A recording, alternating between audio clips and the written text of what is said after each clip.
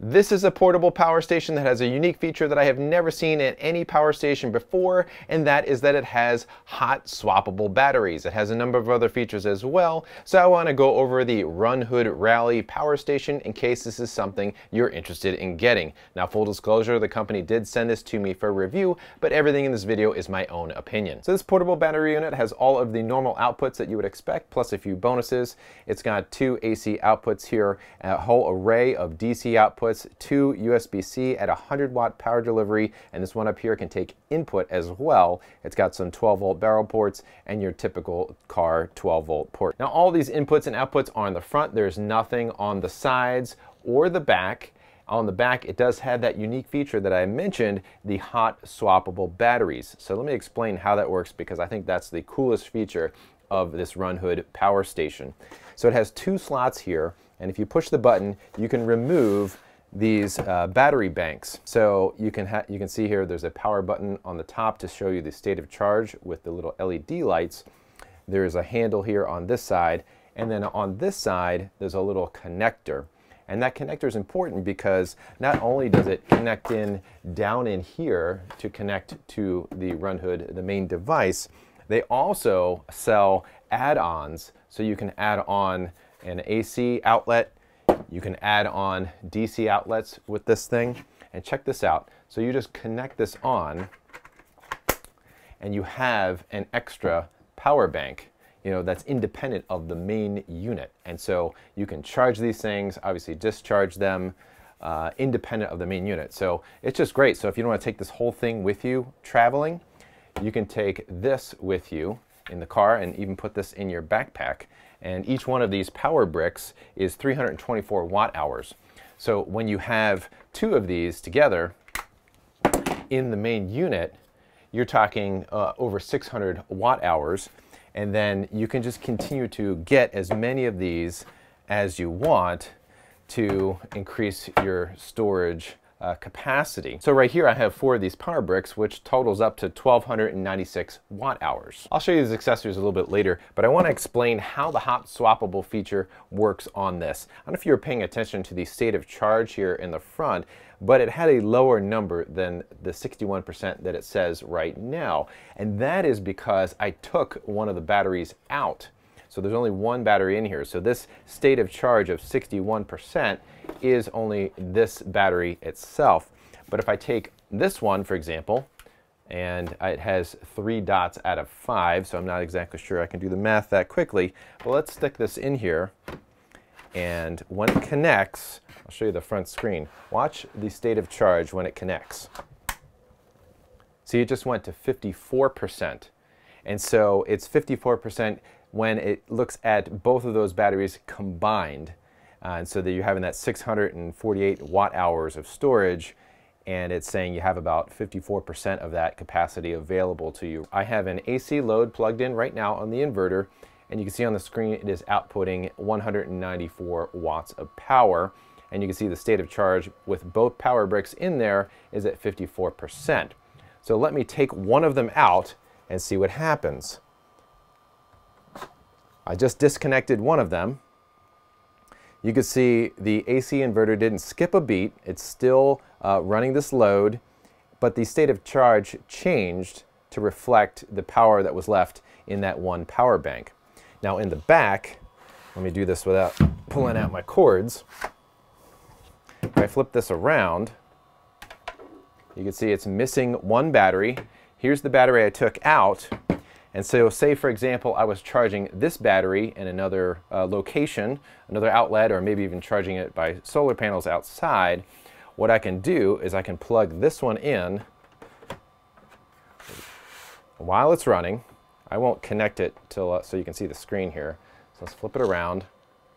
And I'm going to connect it in here, 3, 2, 1. Now it's connected in. Look at that. The state of charge went up to 75%. The AC inverter continued to run and now I have uh, more capacity in the whole unit. Okay, so now let's make the hot swappable feature complete and I'll take out the original battery. I'll flip it around again. You can see it's still outputting the AC output, the 194, 95 watts. The state of charge went up to reflect that new power bank that I put in and the output was not affected. So that's really awesome that it has this hot swappable feature. So Runhood officially calls these energy bars and I had asked how does it handle energy bars inside of the main unit when they're at different states of charge, when there's a load on the unit or when they're charging. And what they explained to me is that when they are at different states of charge, it will draw from the battery with the higher state of charge first when there is a load on the unit. And when you're charging, it will prioritize the one with the lower state of charge to bring it into balance with the other one, and then will charge both simultaneously. In terms of charging the main unit, there are four ways to do that. The first is with the wall AC adapter. This is included, and you can see I have it plugged in and charging right now.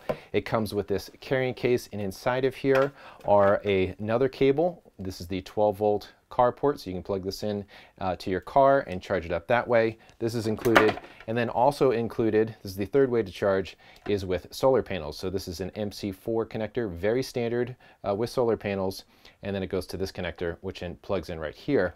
And then the fourth way to charge it is through the USB-C port right here. And so you need your own USB-C cable to do that, but you probably have one laying around somewhere. And you can charge right here up to 100 watts. Now another thing that's cool with this unit is that you can charge through the USB port and through this main input here at the same time. So if you want to get the maximum input rate, you'll use both of those inputs. The Rallye works great with solar panels. Here I have it hooked up to a 100 watt panel, but it can handle up to 200 watts of solar input. Runhood has done a great job to think about how to make this system as versatile as possible. So not only can you charge and discharge the energy bars with the main unit, if you just have them by yourself, you can charge and discharge.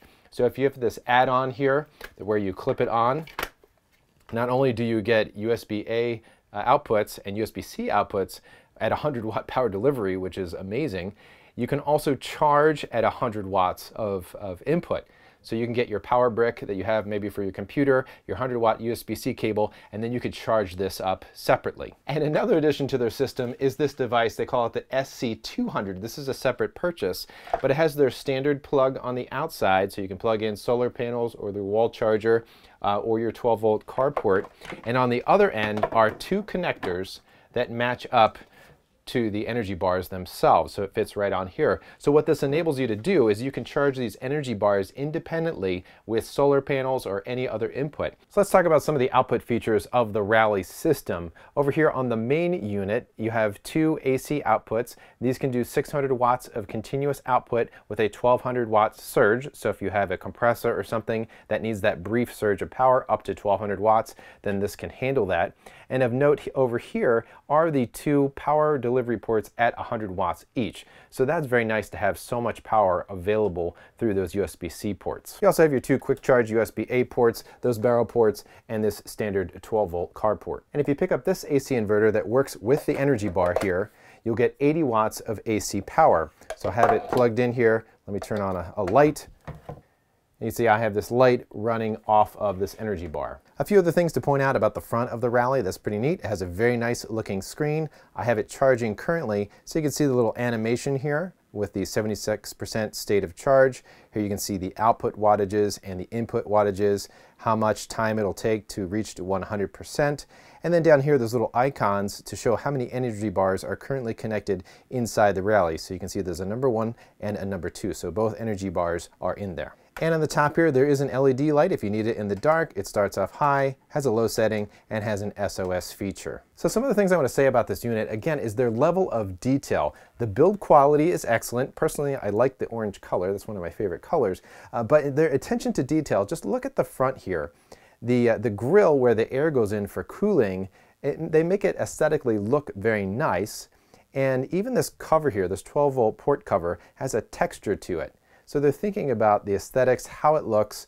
Uh, the, the, the rubber feet on the bottom are very nice and padded and the handle and the build quality all around are excellent. I also like how these batteries slide in and out. They're not going to fall out accidentally and you can get your fingers in here. You just push this open button and then they slide out. And when you go to put them back in, you don't have to put a ton of force and you hear the click and you know that it's in there. And you can also look on the front to see if the, you know, the battery, if it's recognizing if that energy bar is in there. And in the back here, if you happen to have one or both batteries out, the unit comes with two dust covers to cover up these holes when they're not in use. So they even thought about that. So overall, what do I think about the Rallye? I'm honestly surprised that no one has come out with a hot swappable system like this before. At least I'm not aware of any. And I like their attention to detail. I've mentioned that several times. I like how you can get these add-ons for DC ports and AC port. You can get multiple batteries and that with that hot swappable feature, you can run outputs continuously and keep swapping in and out batteries. Now the system comes with all different kinds of combination options, so make sure you check out the one that you're most interested in. And make sure to check the video description down below as I will keep it updated with any coupons or deals that I know about for this system.